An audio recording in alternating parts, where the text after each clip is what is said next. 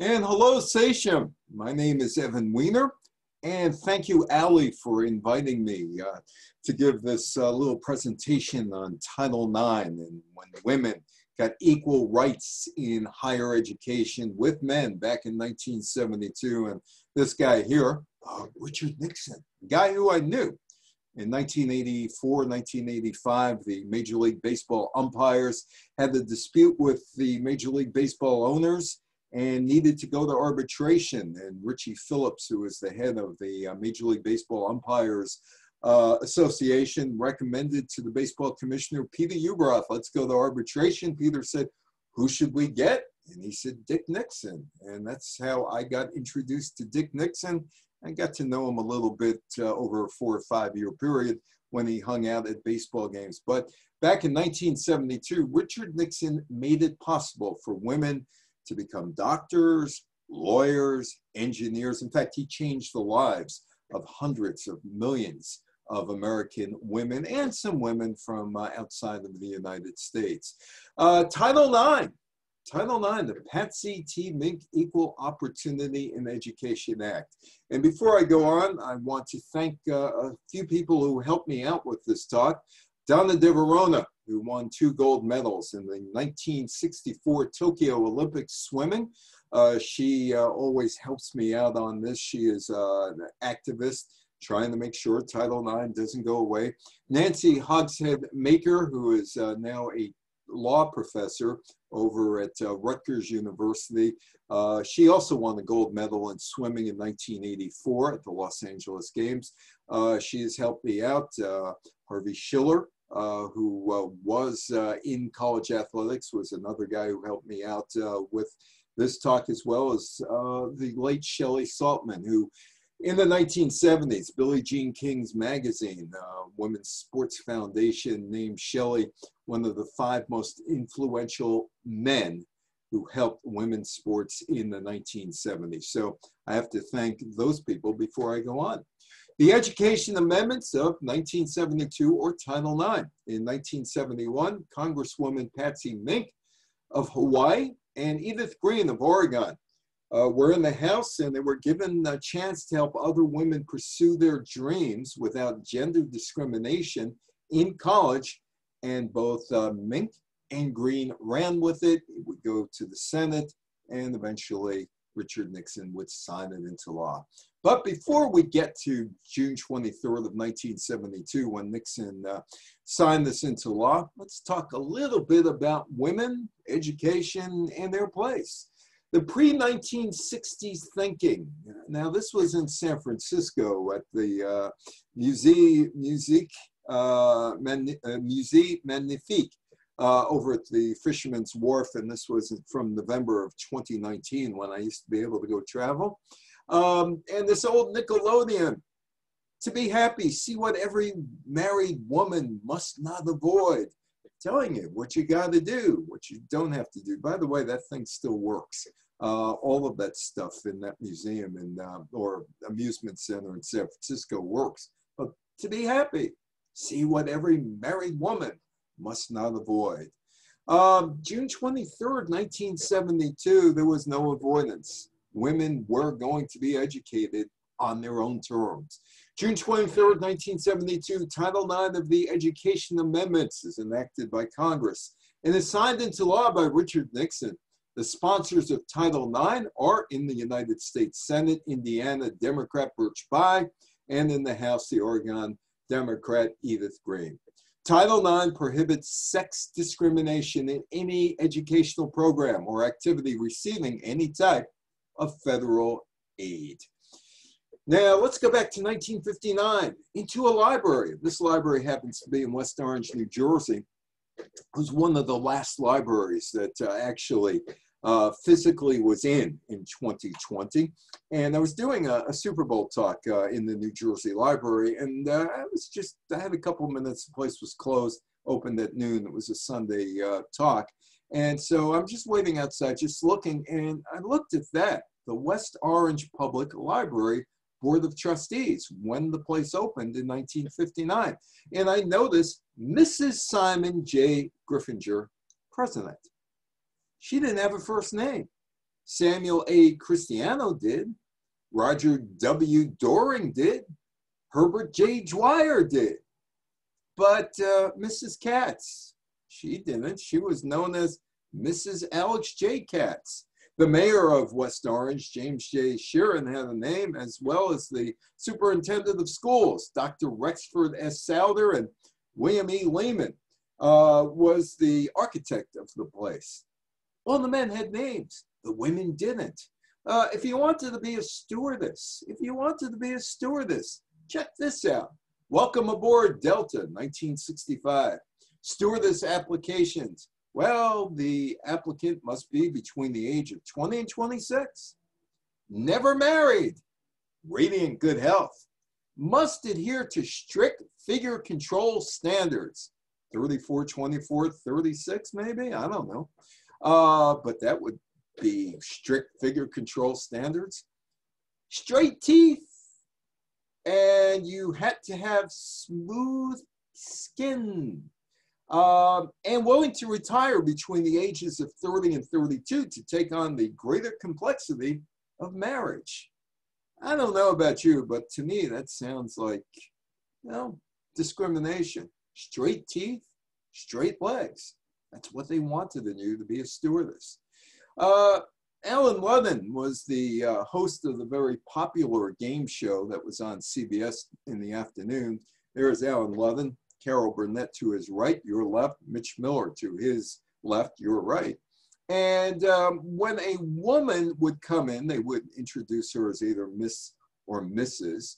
Uh, and uh, if you were a Miss, Allen Ludden would ask you, Are you a working gal? If you were a Mrs., what does your husband do for a living? But Patsy T. Mink would try to change all of that. Hawaiian Congresswoman and um, she felt discrimination going back to the 1940s playing basketball for Maui High School because women were not allowed to run up and down a 96 foot or a 92 foot court, 96 foot court. 48 feet was all that uh, women in high school should be able to run because they were dainty, fragile things. And you didn't want women to be overtaxed and exhausted. That's why they only played half court basketball. Patsy Mink had ability, but she was a woman. Patsy Mink was elected the first female president of the student body at Maui High School. She became the valedictorian of her graduating class in 1944. She went to the University of Hawaii, did a great job there, but couldn't get into medical school. She got into law school. I'll get I'll go back in a minute because I want to tell you more about Patsy Mink. Uh, she was politically ambitious. In 1958, she was elected to the territory of Hawaii Senate. A year later, that was dissolved because Hawaii was becoming a state. In a special election, she ran for Congress and she lost in the Democratic primary to Daniel Inouye. Uh, in 1962, she ran for election to the Hawaii State Senate. She was successful. Two years later, she ran for Congress. She was successful. She was an early supporter of a successful effort to allow female members of Congress to use the all male gym. They wouldn't give her the keys to the place. They wouldn't let her in. After all, she's a woman, she's dainty and delicate, and she can't handle things like lifting weights, right? She can't do that. That's not for her but she decided she wanted to use the gym and she was not denied. Mink was a champion of women's rights, but she avoided being characterized as a feminist. In the late 1960s, she became increasingly outspoken against the Vietnam War. In Congress, she worked tirelessly on behalf of legislation in the fields of civil rights, including those of women and children, as well as healthcare, welfare, and education. Now, let's go back a little bit in time to when she was about 22 years old, around 1948. After her college years at the University of Hawaii, she had the marks, she had the ability. She was a valedictorian at Maui High. She applied to medical school, but she was rejected 12 times because she believed it was gender discrimination. So she can't go to medical school, so she says, okay, let me try law school. And she did go to law school, but she faced sexism when she was denied a job at a law firm because she was a married woman. In fact, she had even more than married woman problems rejection. She tried to start her own practice, but the government of Hawaii, the territory of Hawaii at that, that time, said that um, you're not really a resident of Hawaii anymore, even though you were born here, went to school here, because you married a mainlander. You married somebody from Chicago. Uh, so even though you were born here, raised here, Maui, valedictorian, uh, your husband wasn't, so you're not a resident of Hawaii anymore. And because you're not a resident of Hawaii anymore, you can't take the bar exam. So she was discriminated against. A, medical school, and when she tried to start her law firm, they wouldn't allow her to take the bar exam. So she fought for her right to take the bar exam. She did eventually win that. Uh, she passed the exam and she became the first Japanese American woman lawyer in Hawaiian history.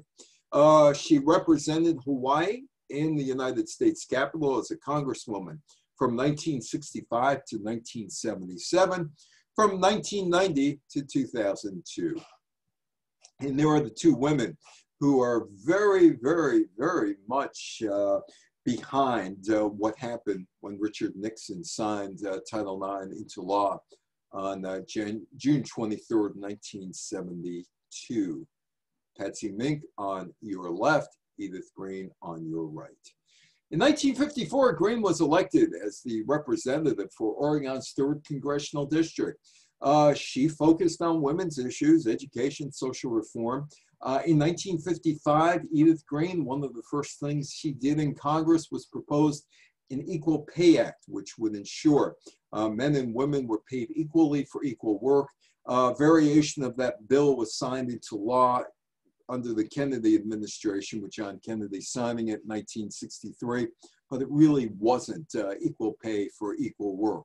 Uh, to this day, uh, it still remains the same. Women do not get equal pay for equal work in many instances. And there's Edith Green when she was running for Congress. Democrat for Congress back in the mid 1950s. She was also known as the mother of higher education, the Library Services Act, which provided access to libraries for rural communities, the uh, Higher Education Facilities Act of 1963, the Higher Education Act of 1965, 1967. She became known as the mother of higher education and Mrs. Education. In the late 1960s, she pointed out that programs were designed after school programs to keep boys in school, but girls really didn't have similar programs in a lot of areas. Uh, and she sought to correct this inequity. She helped to introduce a higher education bill that contained provisions regarding gender equality in education. Uh, that woman there, Kay Switzer, Kathleen Switzer, but she entered the Boston Marathon as Kay Switzer.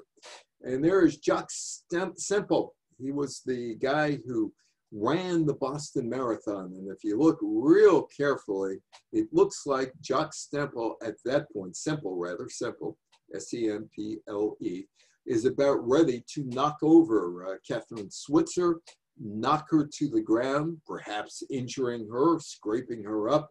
Uh, fortunately, her boyfriend uh, was there to the left, and uh, he was not somebody to be messed with. He was uh, a world-class uh, track and field athlete.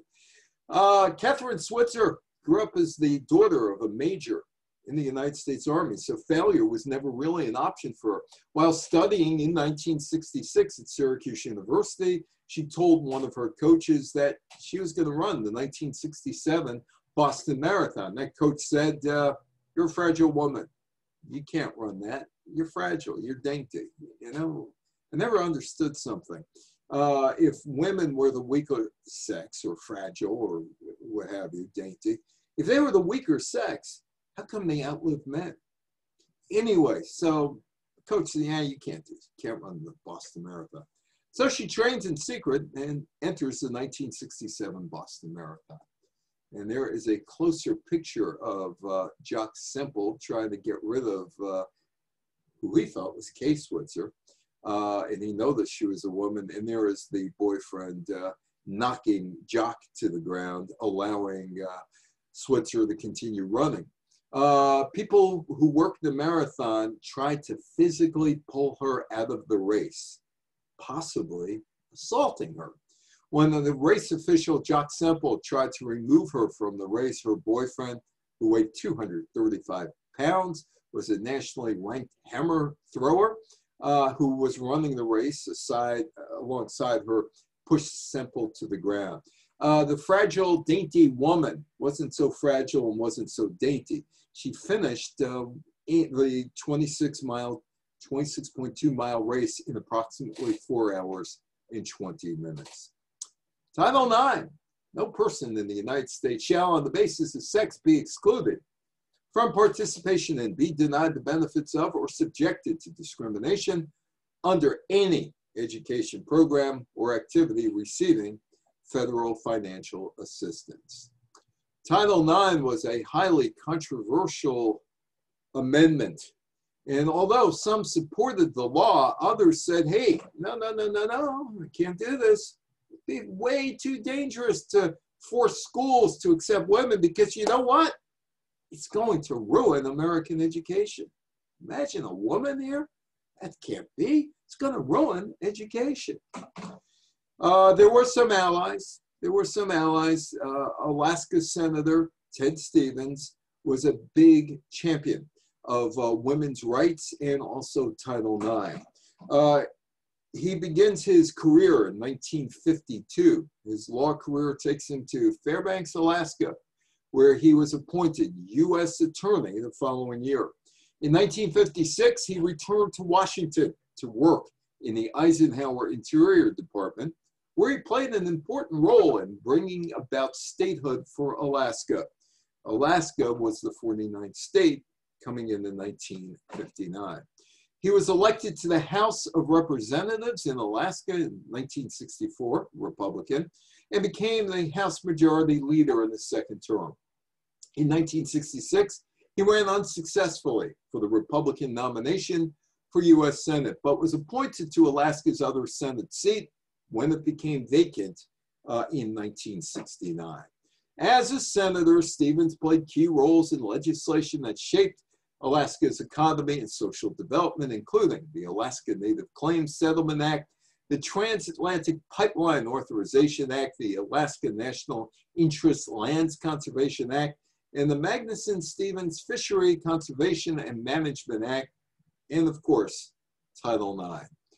He was also known for his sponsorship of the Amateur Sports Act of 1978, which led to the establishment of the United States Olympic Committee, now called the United States Olympic and Paralympic Committee.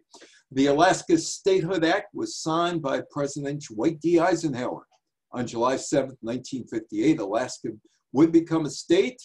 In 1959, on January 3rd, the 49th state. It's kind of interesting that um, the two of the major forces behind Title IX came from two new states. Ted Stevens senator from Alaska, Patsy Mink, congresswoman from Hawaii.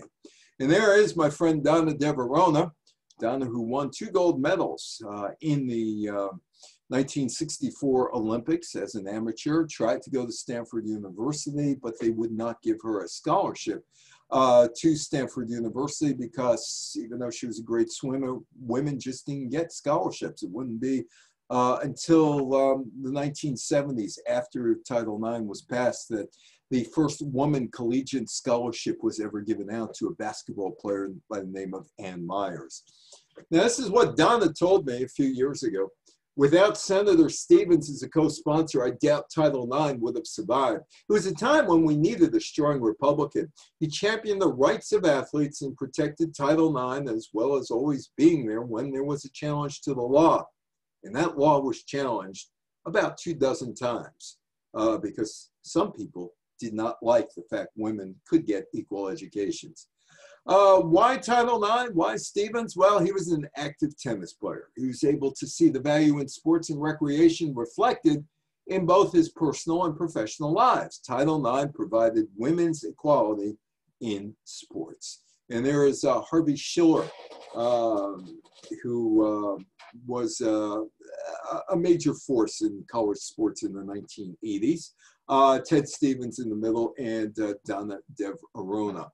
Um, back in 1969, 1970, I went to Spring Valley Junior High School. I was in ninth grade in September of 1969 and got out of the, the, junior high school in June of 1970. I had a ninth grade teacher by the name of Stewie Gates. Stewie Gates.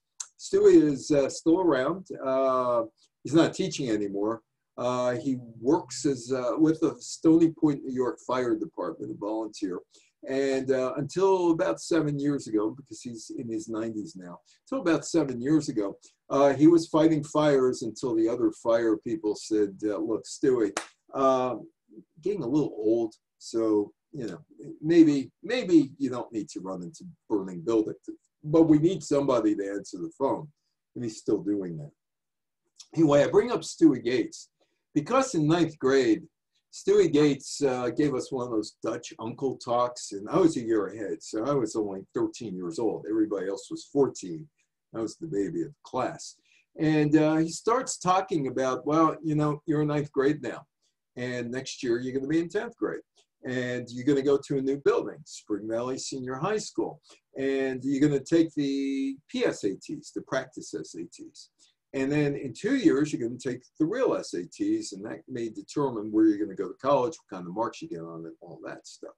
And then in three years, you're going to start visiting colleges, and you're going to start looking uh, to see what college you want to go to and what you're going to major in. And for the girls in the class, the girls in the class, some of you are going to go to college to major in three letters. Now, when I'm live with people, I usually ask the question, what are those three letters? But I'm not live here. Uh, we're recording this. So uh, I will give you the answer. The answer is MRS. You're looking for a husband. So Birch Bayh is uh, trying to get this thing through the Senate, and he's on the Senate floor. And I read the transcript, and I said, "Man, that's Stewie Gates talking." Sort of. Uh, Birch Bayh authored and introduced Title IX of the Higher Education Amendments of 1972, which for the first time prohibited discrimination on the basis of sex in the classroom and on the athletic field, protecting both students and faculty. Uh, the 1964 Civil Rights Act did not, did not allow women uh, or, or afford women the opportunity to get higher education on the same level as men. If they got something, they should feel lucky because women basically should be nurses, and secretaries, teachers slash librarians. Uh, that was probably most of what women were allowed to do prior to 1972. There were a few doctors here and there. There were a few lawyers here and there, but few and far between. And there is a later picture of Birch Bayh. So he's on the floor of the Senate. And these are the remarks Birch Bayh makes. We're all familiar with the stereotype that women are pretty things, Case Switzer, who go to college, find a husband, and then go to graduate school because they want a more interesting husband, finally marry, have children, and never work again. Now, let me talk about some mindsets of the 1960s. I was uh, about 10, 12 years ago, uh, I was giving a, a talk at a, a uh, Stamford, Connecticut uh, senior residence. And there was a guy uh, who had gone to medical school in 1960.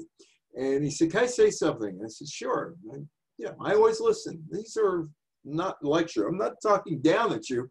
I'm talking with you. It's a conversation. So I said, Yeah, sure. He says, You know, I went to medical school back in 1960. He said, We had 96 people in the medical school. 92 men, four women. And he said the, the, the dean of the school, we were all sitting down, said to the four women, will you please stand up, stand up. I want to say something to you. And he starts off by saying, why are you wasting our time? You're wasting our time because, you know, you're here, you, you, you may or you may not get the degree, but we know you're here partly to find a husband. That's what you're here for uh, 92 men, four women. So you're wasting our time. Then there was another guy, uh, I was on a cruise ship a few years ago, and um, he was talking about his veterinarian class. And there were 55 people. It's about 1965. 55 people in the class, about 45 men, 10 women. And the dean of the school uh, gets up and says basically to the 10 women, Why are you here? You're taking a man's job. Uh, you're here looking for a husband. You know, those four women were taking men's jobs as doctors too in 1960. And he said, You know, and the 10 women were told, Why are you here? You're wasting our time. You're going to find a guy, get married, and we wasted 10 slots. But to make a long story short, um, we were on a cruise ship probably three years ago now. And he said, all 55 of us are still alive. We just went to a reunion recently. He says, and 45 of those guys are old farts like me, sitting on cruise ships, retired. Meanwhile, 10 women who were in that veterinary class or, or in that school are continuing to work. Seven of them went on to different areas of biology. Three are still veterinarians. Uh, boy, was that guy wrong. We're all retired and they're still working. They didn't take anybody's job.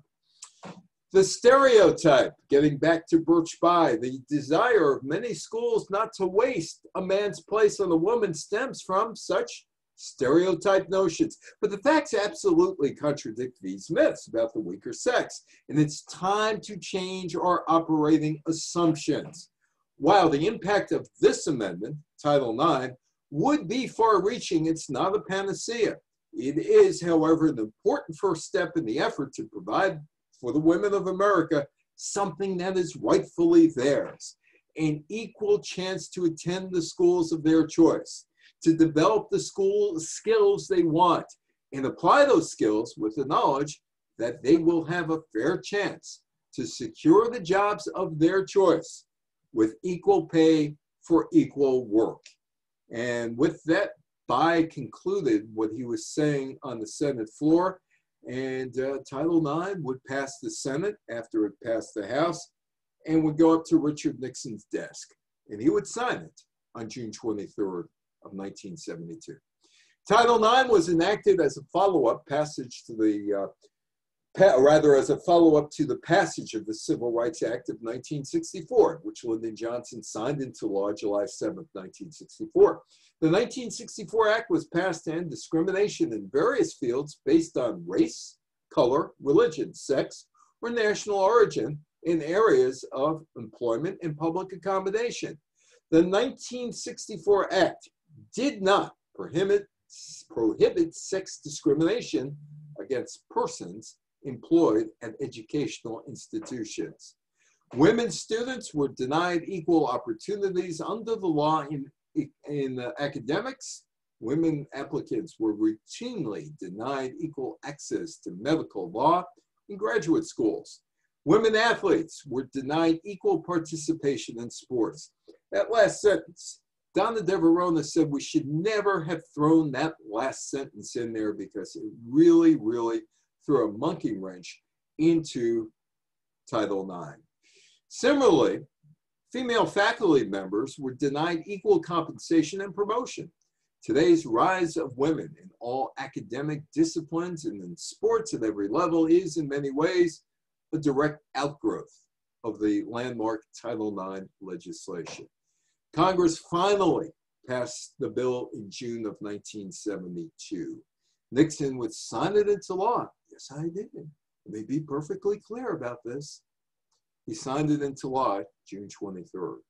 There have been many times in the last 40, 48 years now, 49 years, uh, when it's been challenged. Title IX has gone back to Congress many more times than most other laws, 24 times by 2007. I did sign the bill, and it would change the lives of hundreds of millions of women. He does sign the bill. But he says nothing when he signs it. Nothing. Just signs it matter of factly. Goes on to other things. Speaks about the segregation, busing. Doesn't mention the expansion of educational access for women. He does it. He's the guy. Nixon's the one. Doesn't say a word about it. Women who are doctors now, lawyers, athletes, owe a great deal of debt to Richard Nixon. He did it. Nobody talks about it. Now, while all this is going on, there was a uh, housewife in Queens by the name of Bernice Gera, who's bored being a housewife. Um, in the 1960s, Betty Friedan wrote the book Feminine Mystique. It came out in 1963. And uh, it, it, took six years actually for this idea that started in Betty Friedan's head to the book coming out. Betty Friedan went to um, a reunion of Smith College uh, graduates in 1957, and she started talking to other graduates. And she found that, like her life, she lived in Rockland County, um, like her life, uh, a lot of these women felt empty, that they were missing something. They had no careers, they were just housewives. And she started to uh, collect stories, not only from the Smith College women, but from others, and decided she was a magazine writer on the side, freelance magazine writer, and decided, hey, I'm going to try and I am going to try and sell uh, all of uh, these stories to a magazine. And she got turned down and turned down and turned down. No magazine wanted it. Finally, she said, let me see if I could write a book. And she puts it all into the book, Feminine Mystique, comes out in 1963. And that really is the start of the women's liberation movement in the United States. Uh, Gloria Steinem was part of that, and Bella Abzug part of that as well. Steinem in 1963 went undercover for a magazine called Show Magazine, and uh, she became a Playboy bunny and uh, exposed the life of a Playboy bunny in 1963. By 1966, the National Organization uh, of women started. Anyway, this is Bernice Gera, and she wanted to be a baseball umpire. She was sitting around discussing things with her husband, talking about she's bored being a housewife, not having anything to do. He says, Well, what do you like? She says, I like baseball. And they started figuring, out, well, what can I do in baseball? What can I do? And, and it dawned on them, I could become an umpire. Why can't I become an umpire? In 1969, Bernice Gera received a contract from the National Association of Professional Baseball Leagues to work in the Class A short season New York Penn League. She was going to become the first professional umpire in organized baseball in the 20th century.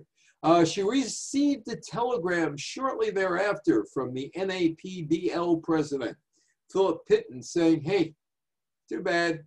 I don't approve your contract. You're gone. It's invalid. Well, she fights and she fights and she fights and she fights and she fights. And on June 24th, 1972, after three years of court battles, she finally gets onto the baseball field. She umpires a game in the, uh, doesn't exist anymore, the New York Penn League, because baseball got rid of the short season rookie leagues um, just recently. So there'll be no New York Penn League this year. Uh, but she umpired a Class A minor league game, New York Penn League, between the Geneva, New York Rangers, Texas Rangers affiliate, and the Auburn, New York Phillies, uh, the Philadelphia Phillies affiliate in that league. And uh, there are only two umpires for these level games. One is behind home plate, and the other is out in the field because Major League Baseball didn't want to pay for more umpires or whatever group was paying for umpires. Um, she first is greeted by protesters at her hotel room that, you know, women's places in, in the home. And she gets to the stadium and people are complaining that she's out there. And then she gets into what is known as a baseball rhubarb, an argument with um, a manager. She was berated by the Auburn Phillies manager Nolan Campbell for reversing a double play call. Uh, that was game one of a doubleheader. Gera resigned between games of the doubleheader, citing lack of co- cooperation from her fellow umpires, although in this case, just one umpire that day. Uh, and also uh, the fact that uh, there were demonstrations in front of her hotel. Campbell also said that um, Gera should be in the kitchen peeling potatoes. So she quit. She decided that was it. She had reached her goal and she ended up with a job with the New York Mets in the front office after that. That's my father in law. It's about 35 years ago with Billie Jean King. Uh, I enjoyed hanging out with Billie Jean King. First of all, she's a very nice lady, although I wouldn't want to play tennis with her because I think she turns uh, into uh, it's Dr. Jekyll, Mr. Hyde, Mr. Hyde on the um, tennis court. But she's a very nice lady and uh, she's fun to listen to and she always has great stories. Uh, Billie Jean King was a pioneer who captured people's attention long before the Battle of the Sexes showdown against Bobby Riggs at the Houston Astrodome in 1973. You might remember that made-for-TV extravaganza that Howard Cosell hosted on ABC TV. It's okay. I know. I knew Howard. I know his uh, grandsons, uh, Justin and Colin, and uh, Howard, for some whatever strange reason, actually liked me. I could never figure out why. But anyway, Billie Jean King. Getting back to Billie Jean King. Uh, while Patsy Mink was pushing ahead and trying to open up the uh, gym, congressional gym to women, and uh, Edith Green trying to get more extra uh, activities for, or extra activities for girls after school, uh, Billie Jean King was pushing for equal pay for women at tennis matches or tennis tournaments. Uh, in the 1960s, when uh, Billie Jean King started, women's tennis was stuck in old traditions that left women athletes as second class citizens. Billie Jean King decided it was time to push ahead. In 1967, Billie Jean King took on the United States Lawn Tennis Association and its policy of paying top players under the table to guarantee their entry into tournaments. King denounced the US LTA's practices as corrupt and kept the game highly elitist. She was a troublemaker, but she got to good trouble, as John Lewis, uh, the former Congress, the late John Lewis, the, the congressman from uh, Georgia, who was part of uh, SNCC and the civil rights movement. In fact, he was part of the Big Six in 1963. So he's pushing for civil rights around the time Billie Jean King breaks into tennis professionally. 1968, Wimbledon, Billie Jean King won $750, yeah, 750 pounds worth of money. Sorry, it wasn't dollars, 750 pounds for taking the Wimbledon title while Rod Laver, Laver got $2,000.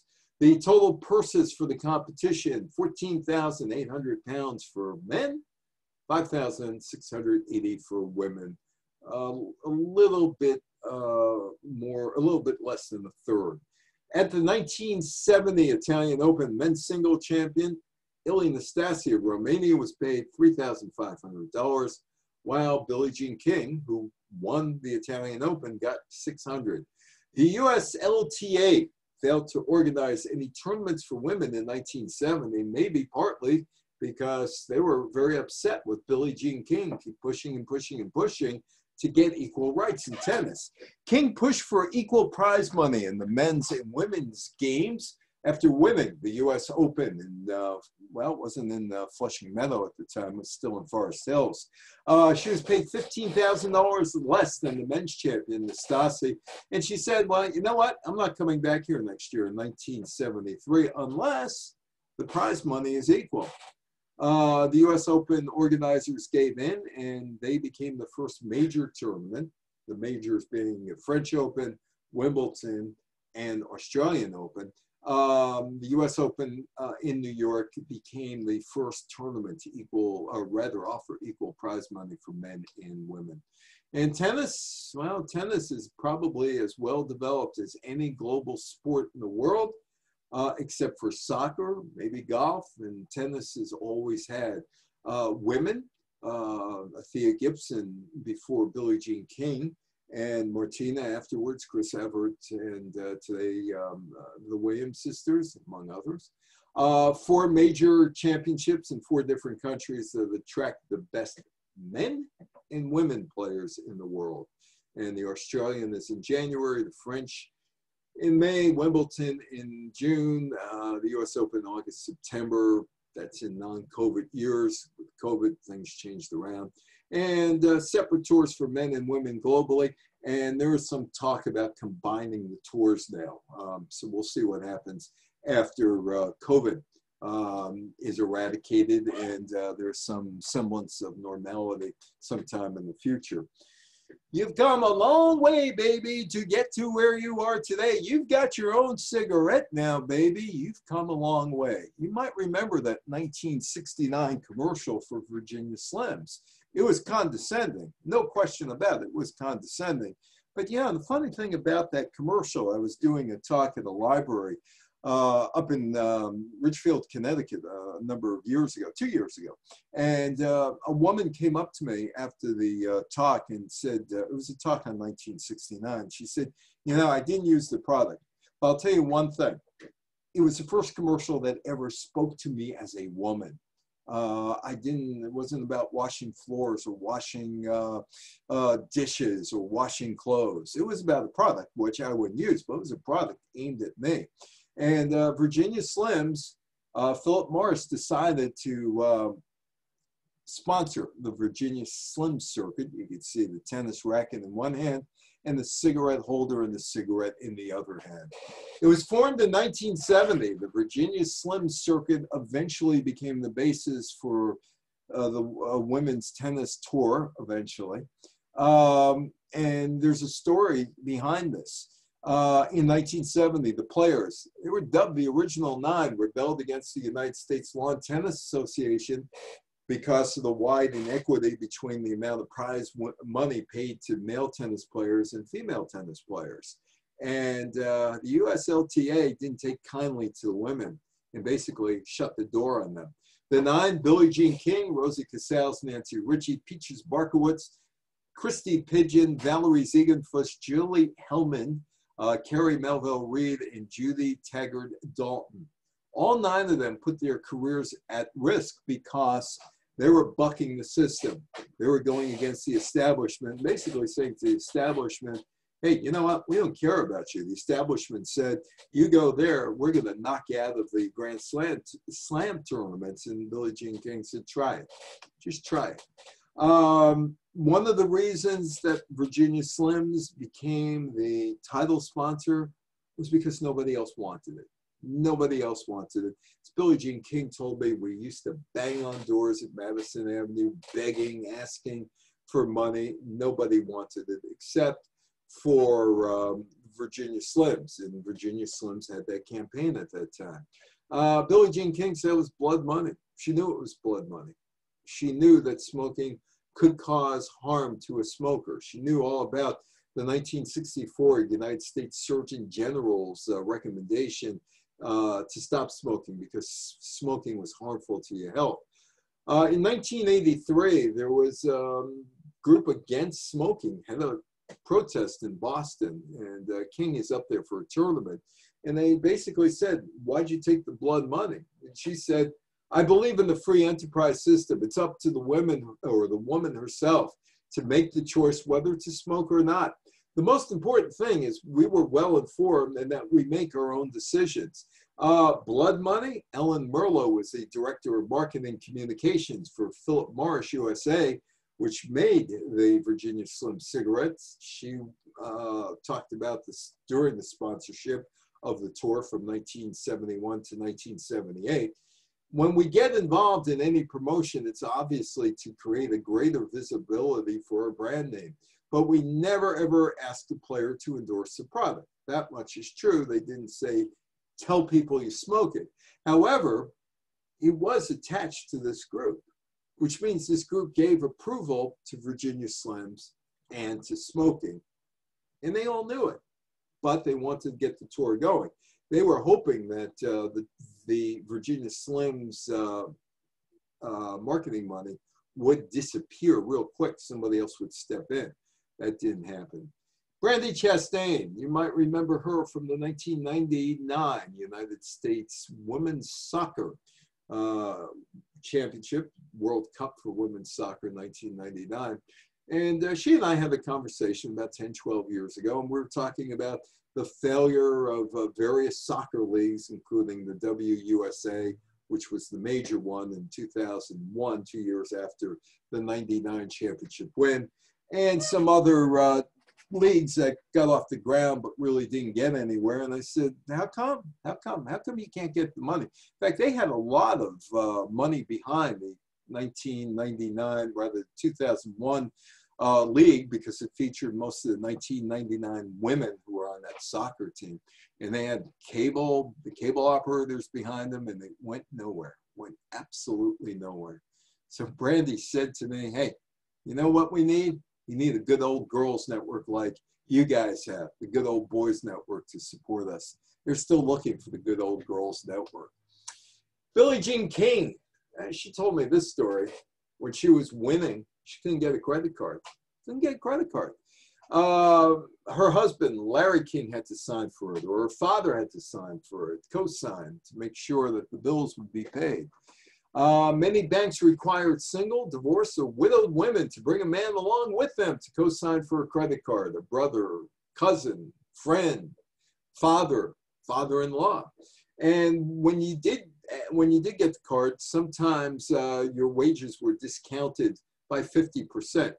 Um, so they could calculate uh, what the credit card limit should be. But in 1974, the Senate passed the Equal Credit Opportunity Act, which made it illegal to discriminate against someone based on their gender, race, or religion, national origin in terms of giving out credit cards. Uh, there would be a bank that formed. That bank would come in 1975. And uh, it was a bank opened by Judy H. Mello, the first women's bank. And uh, basically came out of the feminist movement, which is uh, Betty Friedan and uh, Gloria Steinem and Bella Abzug and those people. Uh, it was the creation of that movement. It was established in April of 1975. It was the first bank ever in the United States to be operated by women for women. And the founders said that women were generally giving the given the short shrift by other banks. It was time to do something. They did. The bank uh, would eventually be gobbled up by somebody else in the 1980s. Uh, the first women's bank was languishing by 1986, and it was sold to a group of investors that strengthened its finances, but the first women's bank name is long gone. Uh, report from 2012 found that women still paid more for credit cards, according to a study by the Financial Industry Regulatory Authority. Women pay a half point more in interest rates than men. So what exactly is Title IX? Well, Title IX opened the door for women in sports and other fields, including medicine and law. Title IX bars sex discrimination in any educational program or activity that receives federal funding, including athletics. And there is Birch Bayh running with the Purdue Boilermakers uh, women's track team uh, after Title IX was passed. Now, I talked to Donna de Varona. This is another quote from Donna. Title IX was a civil rights act applied to education. Uh, basically, it said in law school and medical school, sports was thrown in. Big mistake, Donna says many years later. She's still up at Capitol Hill fighting for this. Sports was thrown in. In retrospect, she said we just should have said all areas of education and let them assume that meant sports, because sports would become the big problem here. At its inception, opponents of the law argued that girls and women were not interested in elite sports participation and that opening up new opportunities would not only undermine men's sports, but bankrupt school sports budgets national, nationwide. John Tower, senator from Texas, 1974. John Tower decides He's going after Title IX. It's May 20th, 1974. Senator Tower proposes the Tower Amendment, which would exempt revenue producing sports from determinations of Title IX compliance. The amendment is rejected. But that was only the first. There's more to come. Uh, while the Tower Amendment was rejected, it led to widespread misunderstanding of Title IX as a sports equity act or law uh, rather than an anti-discrimination civil rights law. Jacob Javits, the Republican liberal senator from New York, was next in line to go trying to destroy Title IX. which raises some eyebrows from old timers who remember Jake Javits.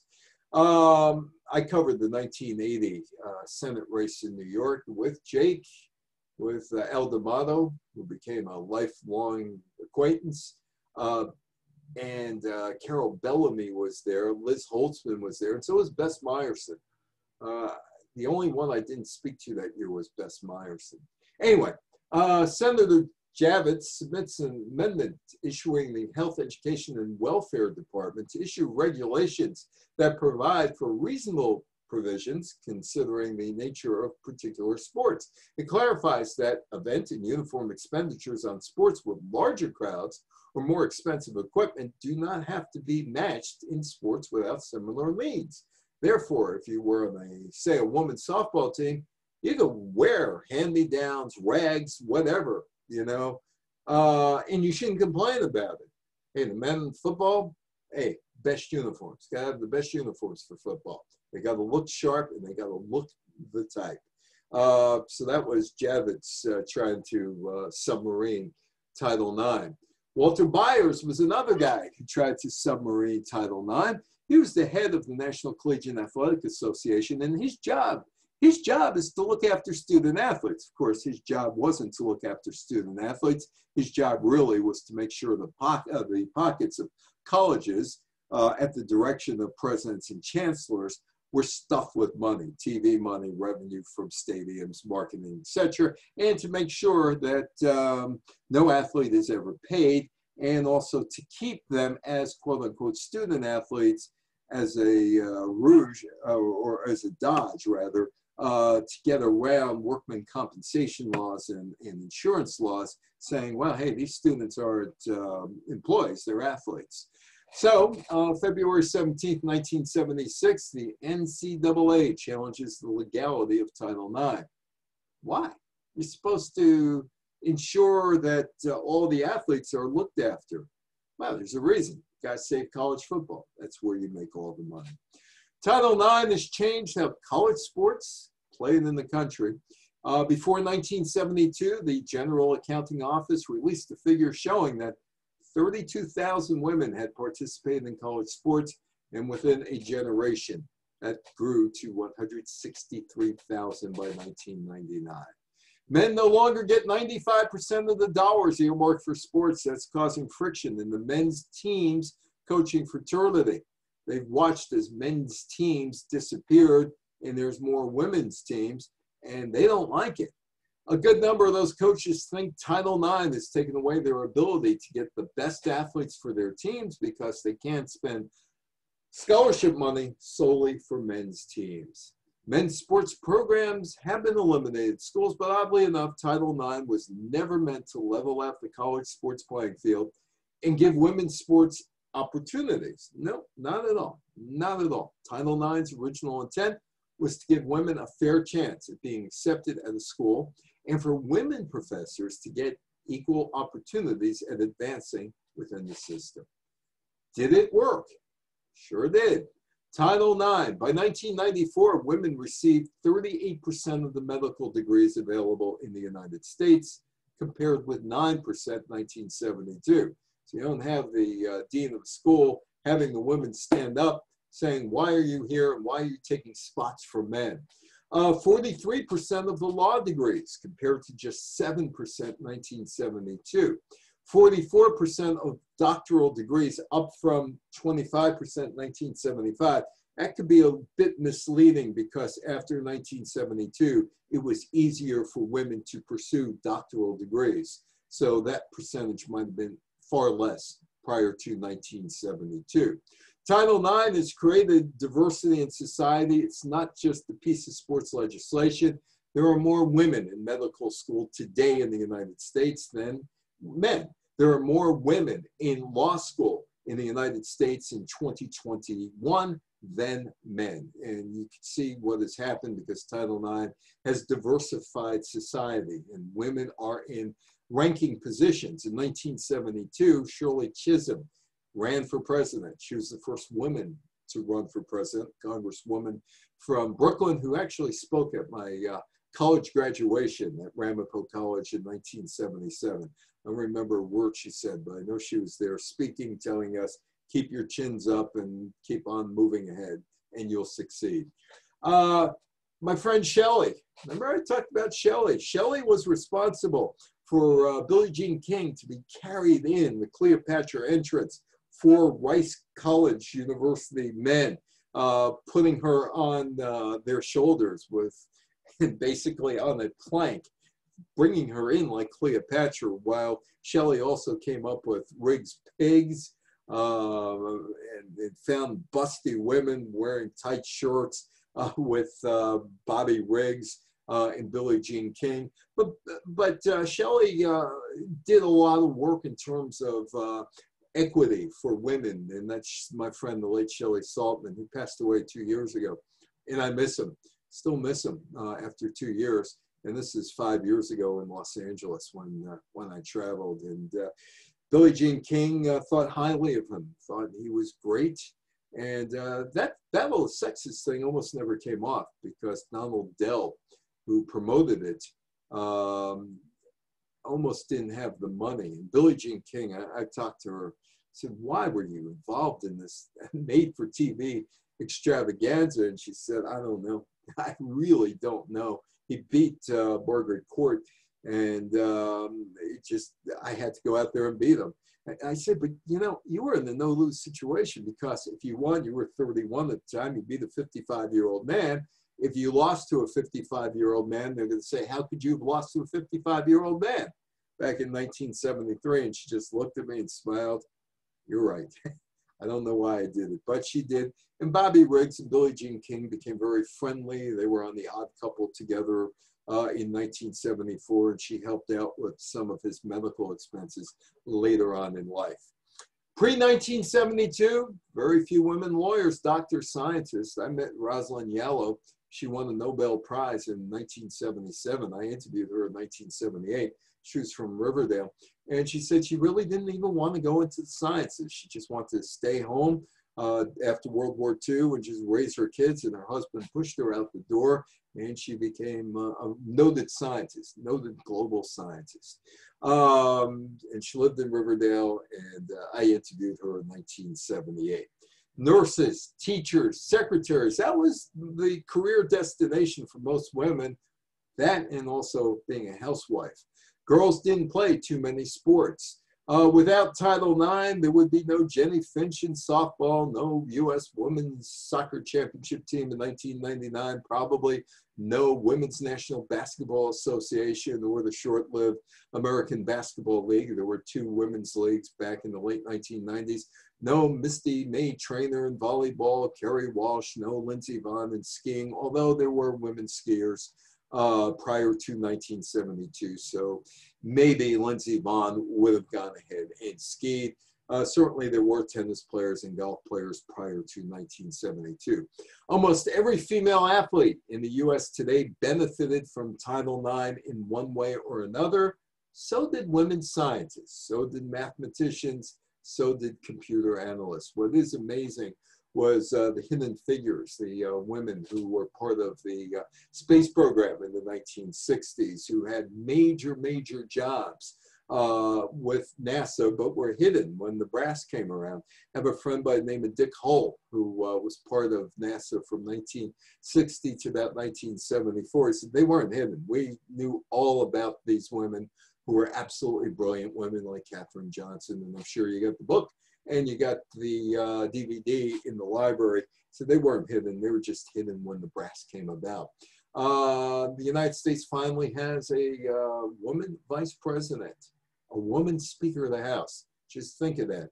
Two of the top three officials in the United States, President Biden, uh, Harris, the Vice President, Pelosi, the Speaker of the House, two of the three key leadership spots in the United States today are held by women. And just think, back in 1970, 71, there were some people who said you cannot have women have equal rights in colleges because that would ruin American education. Women do need to know that education is not a right. It's just not a right.